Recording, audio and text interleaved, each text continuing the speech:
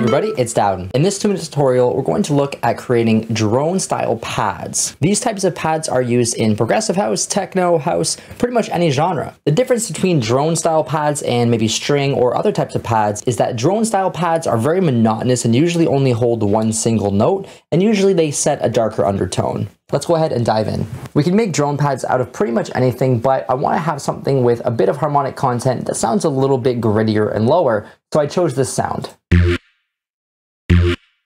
I'm gonna grab a reverb, throw it on there, dry wet above 50%. I'm going to turn the decay time up quite a bit, and I'm going to freeze that reverb sound and resample it. So I have to insert an audio track, change this to resampling, hit arm to record.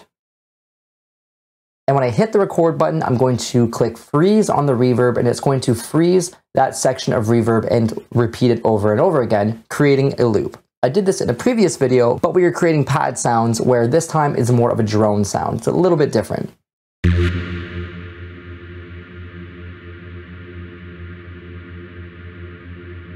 Turn off my freeze.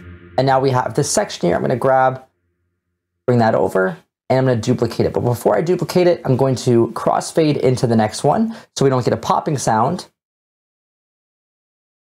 And there we go. Take a listen with the rest of our track.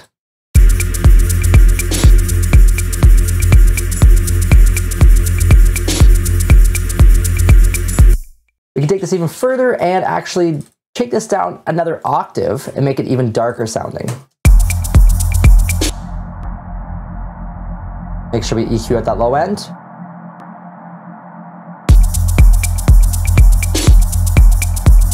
Bring it down in volume to really make it like a subtle glue for the rest of the track.